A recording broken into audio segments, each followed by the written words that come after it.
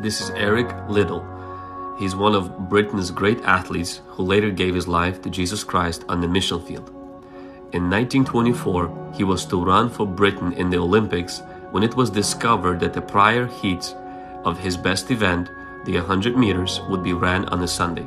Quietly but firmly, he refused. On the day of 400 meters race came, as Eric went to the starting blocks, an unknown man slipped a piece of paper in his hand quoting 1 Samuel chapter 2 verse 30. Those who honor me, I will honor you.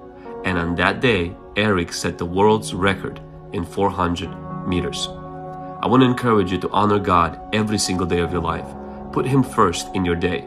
Put him first in your life. As the Bible says in Matthew 6:33. Seek first the kingdom of God and everything else shall be added. God is in the business of blessing his people.